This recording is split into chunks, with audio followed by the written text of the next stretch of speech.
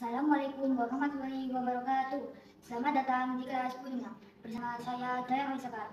Saya, saya akan menjelaskan tentang sejarah tangkis.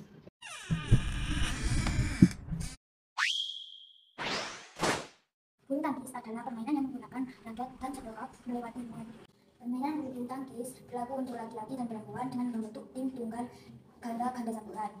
Inti permainan bulu tangkis adalah memukul kop dari lapangan sendiri menuju lapangan lawan dengan melewati atas jaring atau net. Meski beberapa sumber menyebut asal-usul bulu tangkis dari Mesir, Cina hingga India, tapi sejarah mencatat bulu tangkis sama kulit ini berasal dari Inggris.